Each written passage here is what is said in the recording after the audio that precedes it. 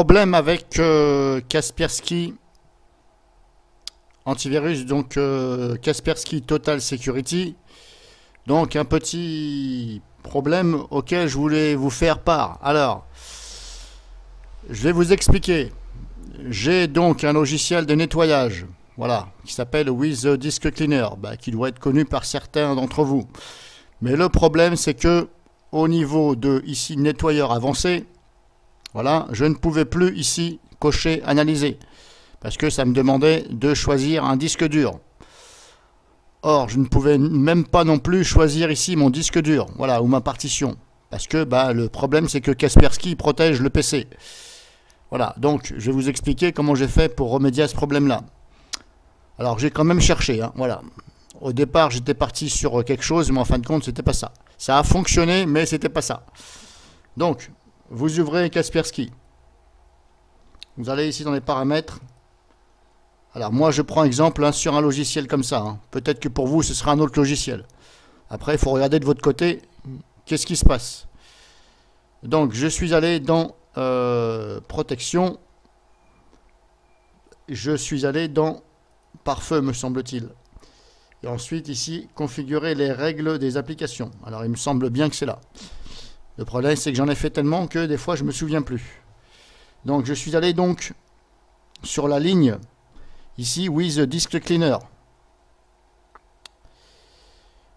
Euh, il me semble. Alors j'ai double-cliqué dessus. Et là, il y a plein de choses. Donc comment que j'ai fait déjà?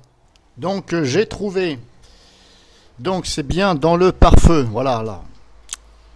J'ai cherché quand même parce que je ne me rappelais plus. Donc c'est bien dans le pare-feu. Alors, moi personnellement, pour mieux vous expliquer, ce programme-là en question que je vous ai dit là, hop, qui est là, voilà, d'où je ne pouvais pas ici faire des manipulations, ici. Alors, il faut aller dans le pare-feu.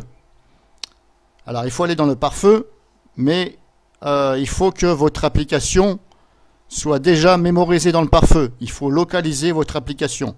Donc moi, allez ici. Voilà, parce que moi je l'ai mis dans la règle euh, de non connecté à Internet, c'est-à-dire que je l'ai désigné qu'elle ne se connecte pas à Internet. Alors bref,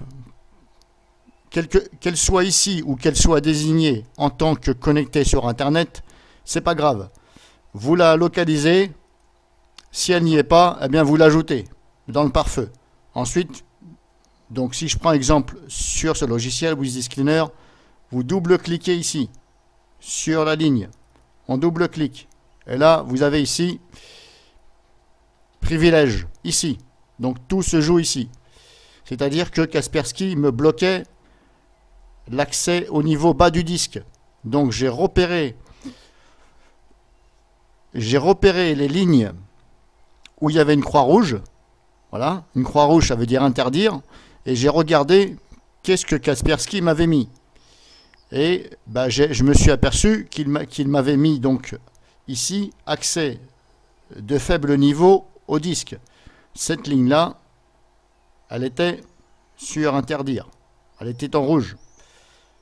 Celle-ci aussi, accès de faible niveau ici.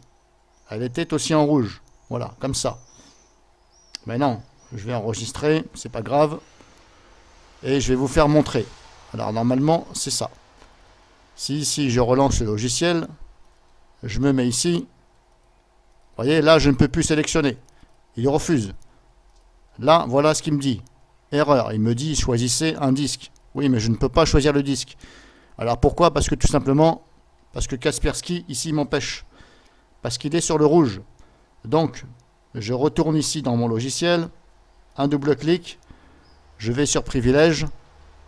Et là, vous allez sur la ligne ici, accès de faible niveau au disque. Et vous le mettez sur eux. Autoriser éventuellement ou confirmer l'action. Alors si vous avez un doute pour l'instant, vous le mettez sur confirmer l'action. Si vous êtes sûr, vous le mettez sur autoriser. Moi, je le mets sur autoriser. Puisque sinon, ça va m'empêcher. Alors je vais déjà essayer de mettre sur confirmer l'action, on verra bien.